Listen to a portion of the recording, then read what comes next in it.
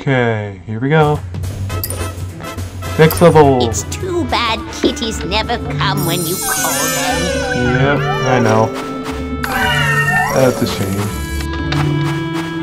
Yeah, looks like the white mice are gonna be everywhere from now on.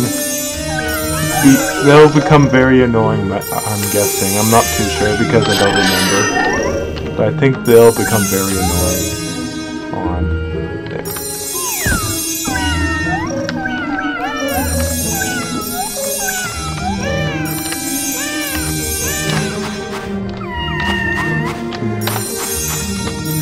I don't need to di dig up anything. Guess. Yeah, I'm guessing this is. Well, this level is pretty similar to the last, I'll say.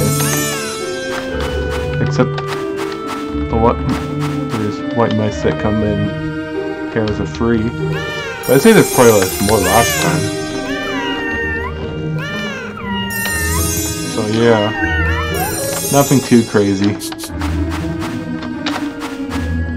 Oh, there's four up there. Uh,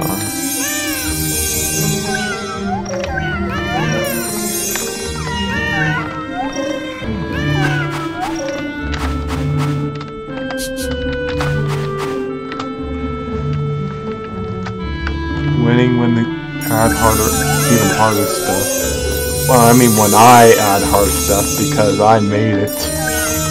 And I forget what I added and all this. I'm playing blind. I don't know what I added.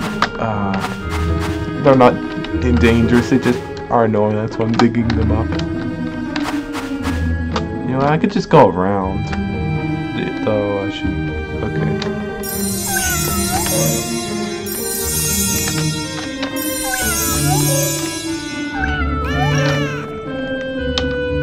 I say for the main campaign mode of this game, the white mice are very underutilized.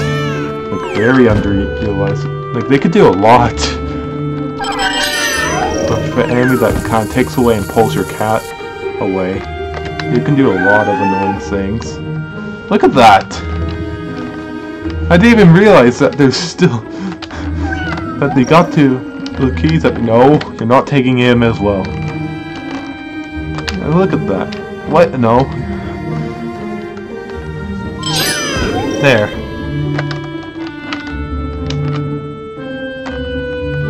And that's a level That complete. was harder than the Sunday crossword.